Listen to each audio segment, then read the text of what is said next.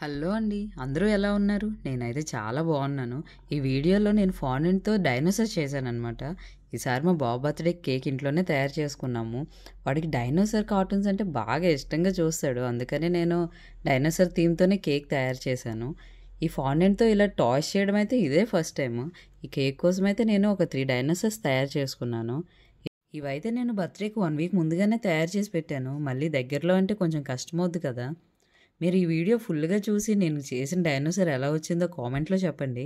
అలాగే నా ఛానల్ కూడా సబ్స్క్రైబ్ చేసుకోండి.